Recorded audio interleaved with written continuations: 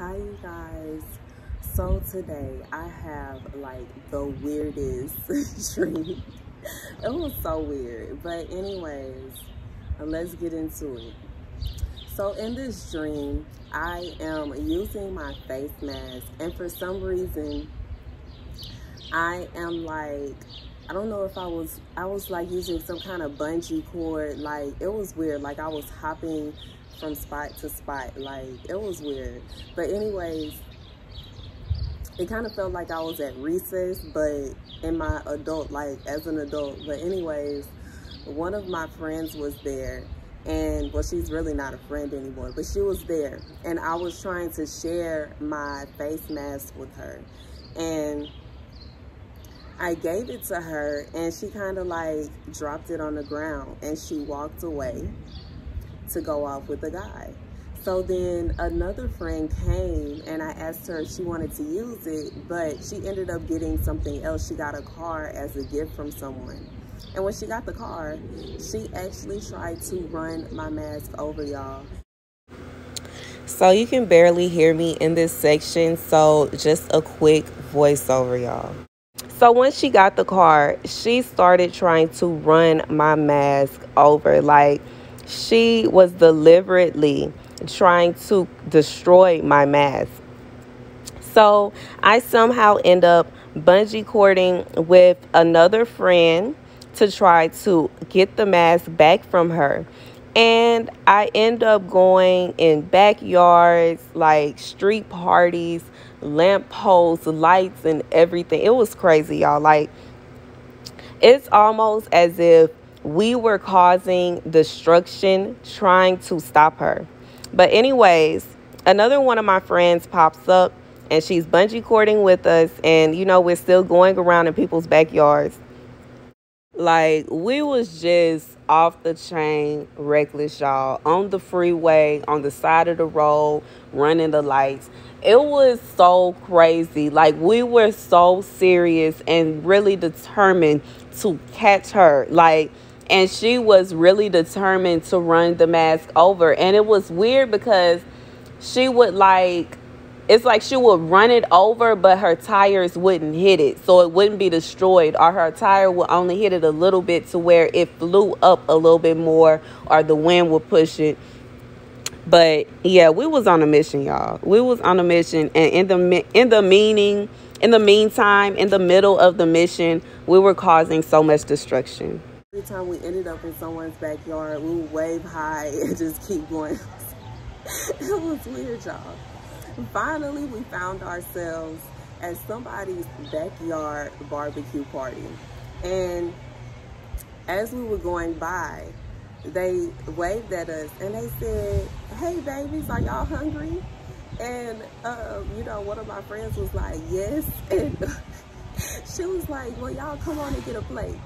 So we came over and um, we got a plate and each of us, as they gave us the food, you know, I felt so hesitant as I was walking in. I was like, these people could have did something to this food. We don't even know these people. Why we had to bring such and such with us? She always, like I'm thinking this in my mind.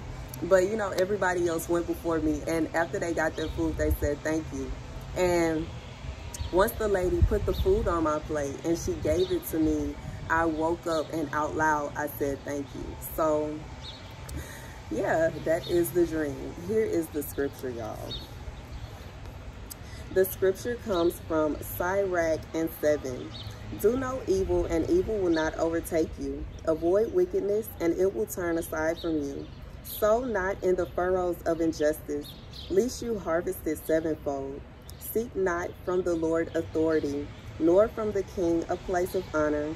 Parade not your justice before the Lord, and before the king flaunt not your wisdom. Seek not to become a judge if you have not strength to root out crime. Or you will show favor to the ruler and may your and mar your integrity. Be guilty of no evil before the city's populace, nor disgrace yourself before assembly. Do not plot to repeat a sin, not even for one will you go unpunished. Say not, he will appreciate my many gifts. The Most High will accept my offerings. Be not impatient in prayers, and neglect not the giving of alms. Laugh not at an embittered man. Be mindful of him who exalts and humbles. Plot no mischief against your brother, nor against your friend and companion. Delight not in telling lie after lie, for it never results in good. Thrust not yourself into the deliberations of princes, and repeat not the words of your prayer. Hate not laborious tasks, not forming, which was ordained by the Most High. Do not esteem yourself better than your fellows. Remember his wrath will not delay. More and more humble your pride. What awaits man is worms. okay, you guys, that was such a long scripture. But even more so, the dream so weird. And I feel like in this dream, God is saying, sometimes we are so busy trying to, the scripture too, now that I think about it, sometimes we get so caught up in what someone did wrong to us that we don't even realize we could in ourselves trying to chase this person down, trying to prove this person wrong, trying so hard to prove that we didn't do anything or to prove that we were in the right, we could actually cause harm to someone else. And I say that because this is my friend or ex-friend was deliberately trying to run over a mask that I was loaning her. I was trying to help her. I was trying to be nice and share with her. And she deliberately, deliberately went out of her way to try to run it over and destroy it.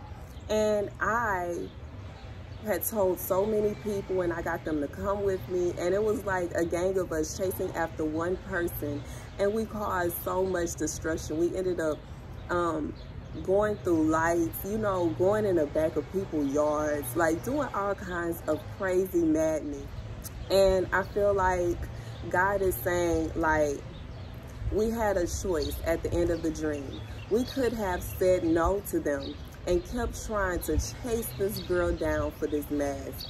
Or we had the option of stopping our destruction, stop trying to prove that she did something wrong, stop trying to chase her down and put forth all this effort to try to show that she was wrong for what she did and sit down with others and break bread with them. They offered us something to eat.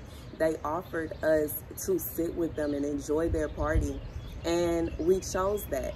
And I feel like that's what God is saying. When someone does you wrong, don't worry. God will get them. God never forgets what's going on. God never sleeps. I'm going to pause right here and add y'all. Sometimes I feel like this is another reason why God doesn't want us to be chasing behind someone trying to prove that they did something wrong because other people saw what she was doing and had it just been her driving, trying to run my mask over by herself, people would have just been like, oh my God, why is she doing that? But we were chasing after her, causing destruction behind her. So not only were they saying, why is she doing that? They then said, why in the world are they doing that? And then what we were doing was being destructive to people around us, not her in particular. So it was kind of like, it goes into the scripture so perfectly, y'all. Like sometimes you can actually be trying to get one person, but in the matter of you trying to get that one person, you end up offending a bunch of other people that you didn't even mean to mean to offend. Reality, they had no idea what was going on. They had no idea why she was doing. I didn't even have the idea as to why she was seeking out to destroy something that belonged to me. But that's what she was doing y'all. It was just it felt so crazy. I had no idea why she was doing that. And they were just like why? And i said i don't know. And they were like well okay i'm gonna help you go and get your stuff. Like she don't have no reason to be doing this y'all. So you guys i feel like the mask represents me giving out advice from experience and the first girl like she didn't want it. The second girl, she acted like she wanted it, But in actuality, she wanted to ruin it. And I feel like the way that she kept trying to run over my mask, she was trying to ruin like maybe a reputation, ruined the way people perceive me. Maybe she was lying about me or in a sense like talking down on me or trying to make me out to look bad. And then she had this shiny car like look what I have. I'm better than her and it's like, although she was like right on, I feel like she was right on the money every time. Like she almost had it, she almost destroyed it every single time. But she just could not run it over. And she kept trying over and over and over. Like, this is somebody that has put forth their best effort to ruin you. And they are using their money and I feel like maybe their power to do it that to try to ruin your name try to ruin your reputation and you're running after them like stop. Please that's mine okay? Please stop trying to destroy what doesn't belong to you and you're trying to just prove them wrong. And by running after them and trying to prove them wrong you are causing more destruction than you are helping the situation and y'all i had a whole epiphany like I took a pause from editing the video to go and make check on my son, give him a snack, and also to make myself some food. And it just clicked in my head that the food represents the word of God. The food represents somebody ministering to us. And I just found that so interesting, y'all. It's like our choice was between going against what God wants us to do and chasing this girl down and proving that she was wrong or stopping and going and receiving the word of God. Um, I was hesitant at first, but instead of being nasty to them, we stayed. And they shared food with us. They broke bread with us and we ended up having a good time. And you know, at the end of the dream, when I woke up, like I said, I said out my mouth, thank you. And I feel like that's a reminder from us, from God to us, to say thank you. Even when things are going bad, say thank you because God will turn that bad situation into something good in a second. Y'all, once again, another epiphany. Like, this is so real. It fits in so perfectly when you go and you take a break, when you're having a bad day and you go and listen to the word of God. It gives you that peace. It gives you that that that inner knowing that everything is going to be okay. And typically after you hear that word, you say thank you. And I woke up out my sleep saying thank you from that sudden moment of knowing y'all, that wisdom, that knowledge that I received. So I don't know who it is that's trying to ruin your reputation, who is trying to drag your name through the mud, who is trying to defame you, but don't argue with them. And do like how I do, y'all. I do not argue with nobody. I don't have time. When people try to argue with me, I end the conversation and I go the other way. The old me back in the day had wanted all the smoke, y'all. All the smoke, all the smoke, all the smoke. I will stand there and argue for hours, for days with no problem. But today, no. I'm not going to argue with you. You're not to make me angry. You're not finna get me out of myself. I will remain the calm, sweet, and peaceful person that I am. And I encourage you all to do the same. If someone is trying to defame you, trying to make you look bad, trying to make it seem like you aren't the sweet, wonderful, generous person that you are, ignore them. Allow them to act up because the evil spirits that are making them do this will get very agitated to the point that they will start showing their true colors. Okay? And you know what you should do instead, y'all? Start to listen to the word of God. Yeah, more that sunshine. Yeah, yeah, yeah, yeah, yeah. Like at the end of the dream when we were offered food by strangers, y'all.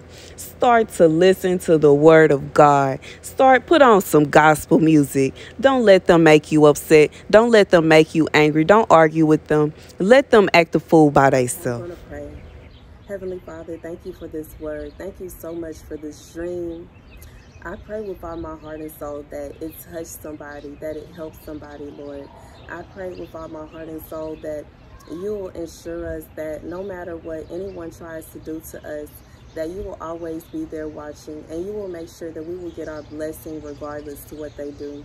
I pray with all my heart and soul that you will allow those who are watching this video and feel like something was taken from them or maybe someone wronged them, that you will send them blessings out of nowhere, blessings from strangers, blessings from unexpected places.